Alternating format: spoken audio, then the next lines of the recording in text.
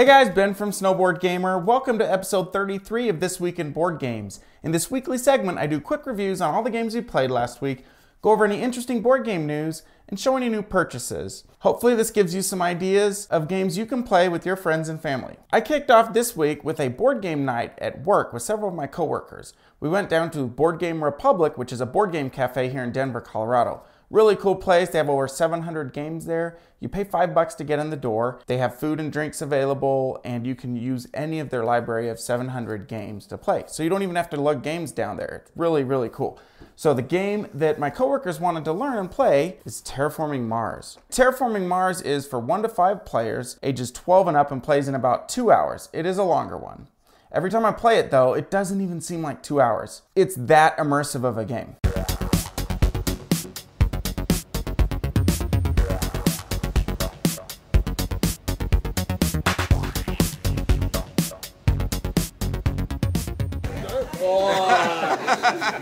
Board game night. We're playing Terraforming Mars. What do you guys think? I think Ben's gonna win. I don't know. We'll see. Terraforming Mars is one of my favorite games. It's very scientific. Each person represents a corporation, and you're racing to settle and terraform Mars. The cards do things like build power plants, which produce energy, which then produce heat. And once you've raised the temperature, deployed enough plants and raised the oxygen, and deployed all the water tiles, then the game's over. I love Terraforming Mars. It's definitely in my top five. While I was at the work board game night, Allison and Kinsey pulled out Jaipur. Kinsey's gotten hooked on this game and is trying to get everyone to play it with her now. This is a two player only game.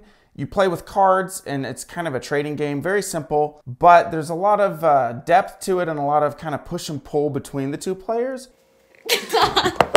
Hi, we are the family of Snowboard Gamer, and we are playing board games without Ben. Ha. We're playing Jaipur. We're playing Jaipur. Dad rolls his tongue. We're playing Jaipur. We're playing Jaipur. Um, I'll take five camels. I'll take a camel. I'll take two gram. This is our most played game last month in February. If you haven't checked out Jaipur, I highly recommend it. It's a great two player game.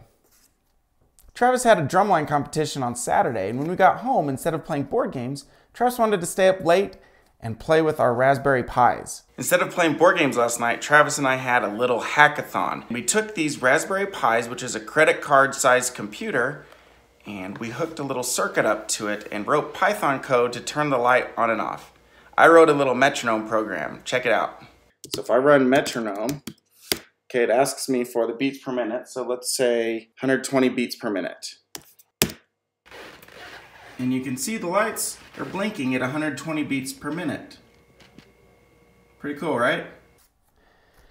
On Sunday, we hung around the house. A few of Travis's friends came over, and one of their dads came over as well. We played some board games. The first one we played was Scythe. Scythe is also in my top five. Scythe is for one to five players, ages 14 and up, and plays in 90 to 115 minutes. The premise of Scythe is post World War I, alternate history in Europa. There's a factory in the middle that everyone's vying for control over, and the factory is producing these giant mechs. And you can see some of the artwork on the side of this box here with these mechs. It's just beautiful. I love this game. When you look at it, it looks like a war game, but it's really not. It's an economic engine building game where you're producing workers, you're putting them out on the board, they go out and produce resources. You use those resources to build buildings, deploy mechs, and eventually move your characters around the board to try and get some area control. And there's a little bit of battle, but the game that we played on Sunday, believe it or not, finished with zero battles. So this game doesn't have to even have any battles. This is such a fun game, and we played it with the airship expansion.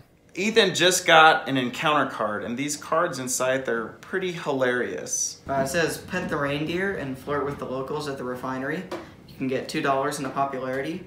You can stock up on oil for the journey ahead, get $2 in 4 oil. Or you can convince the soldier that reindeer aren't real. You can pay 2 popularity to get a recruit. That's hilarious. I'm winning. You're winning? Just kidding, I don't think so. I don't know. We'll see. Allison, Kinsey, and I played Tsuro one night this week. This is probably one of the simplest games to teach. It's for two to eight players, ages eight and up, and plays in 15 to 20 minutes. Sup, y'all? We in the house playing Tsuro. It's a pretty cool game. You take your cards and you throw them on the board, and then you just move your guy through a maze. Like this. oh crap. All right. Stop, collaborate, and listen. Ice is back with a brand new invention, something. Grab it, hold me tightly, flowing like a harpoon daily and nightly. Will it ever stop, yo? No. I don't know. Turn off the lights and I'll glow. To the extreme, or rock a mic like a vandal. Light the stage or wax a chump like a candle. Better hit bullseye, the kid don't play. If you got a problem, yo, I'll solve it. Check out the hook when my DJ revolves it. Ice, ice, baby. Mm. Dum dum dum dum dum dum dum dum. Ice, ice, baby. So you put a card down. Oh my gosh, I made an infinite loop. I don't think that's legal. Okay, sorry. How? I don't know. This has like never happened before. This was gonna be my example. and I- Wait, wait, how It's do like you- freaking an infinite loop. I, didn't think that was possible. I win. It game over. I win by infinity. okay, so you pick a card and you play it, and then you have to move your guy along the path. Um, and if you get to the point where you can only play a card that takes you off the board, then you're out. So the last man standing wins. But you're not allowed to do infinite loops. Well, I'm dead. Allison pinned me in a corner here. It doesn't matter which way I go. If I can loop here, I'm dead. These are obviously all four out. That one's out, and that path is out. So I might as well go out in dramatic fashion here and take the longest route possible. Go big or go home.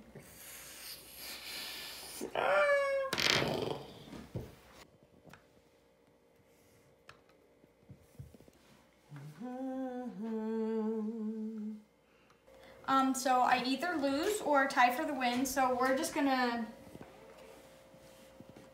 go around here. Oh my goodness. Oh no. Good, because I was going out that turn too. I'd like literally nothing. Yeah, not much left.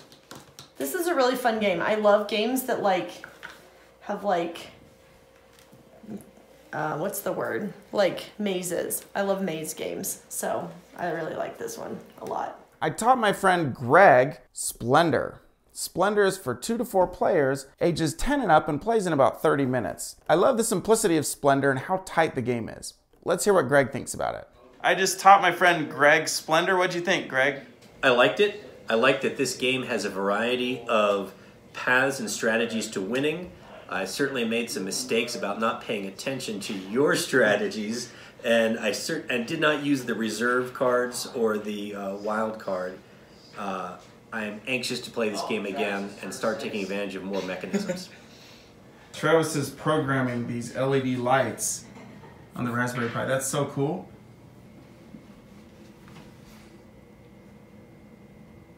That is so cool, Travis.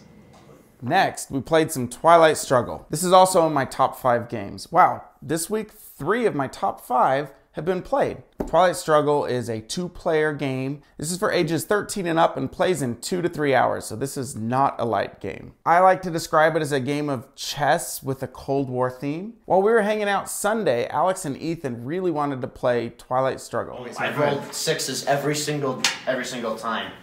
That's why I have control of North Korea as the U.S. Oh my gosh, you're destroying Alex. Kind of. Kind of. He's still winning at victory points. True.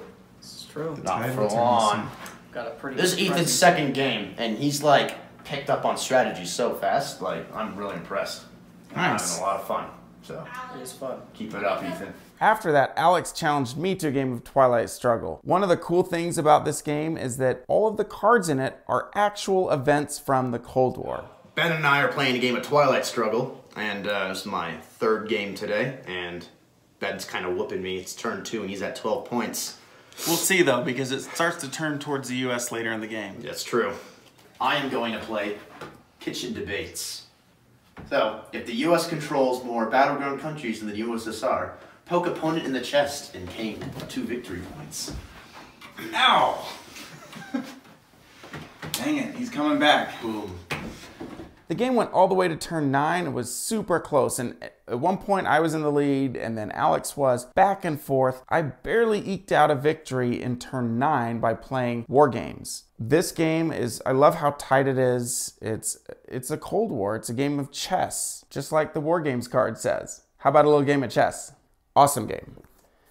Now for the news. Meeple Overboard just dropped podcast number 55, which features me. Kind of building on a segment that Sean and I did earlier about what makes a game a wow factor game, we went and did a top five list of games that just wowed us from the beginning. So go check it out. I'll put a link in the description. I had a lot of fun with Chris and Wendy recording that episode.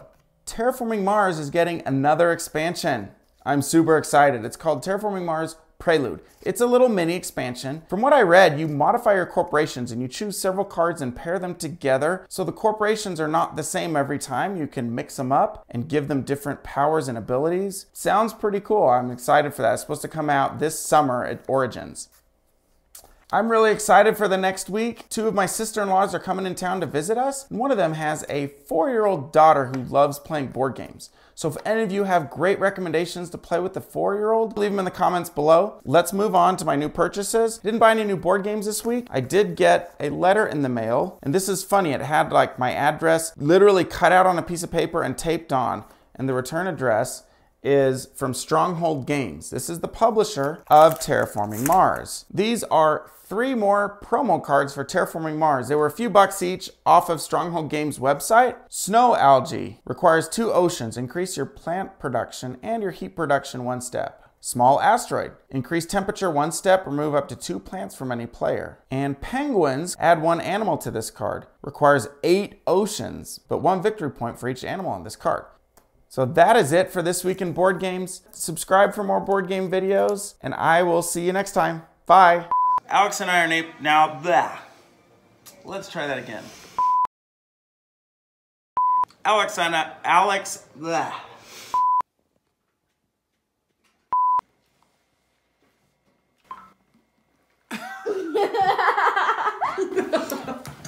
what happened? I got a Snapchat.